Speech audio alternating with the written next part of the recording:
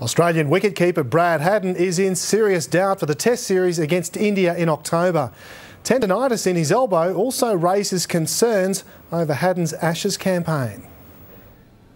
Ricky Ponting launched his latest book on the Sunshine Coast this morning, but as the Australian skipper prepares for a new chapter against England this summer, another story is unfolding. Brad Haddin has struggled with an elbow injury since June, unable to hold a bat, putting his tour of India in extreme doubt. We'll just keep an eye on him over this week here and then the next two, two or three weeks when we get back to our home states will be the deciding factor on whether he tours India in the in the Test match part of that tour anyway. Haddin's problem is similar to that which plagued Sachin Tendulkar for eight months.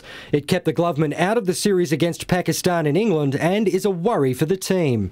Oh, I think it's a concern that he that he missed England. I think such a such a big player, you want him in the team, no doubt. But um, in saying that, it's about getting your body right. I mean, it's not just going to be a matter of being able to hold a bat and then walk back into the Australian team. He's going to have to be a certain amount of things, an, an amount of batting that he has to do, and he's got to feel good within himself about it all as well. Cricket Australia has appointed Greg Chappell as its first full-time selector in the role of National Talent Manager.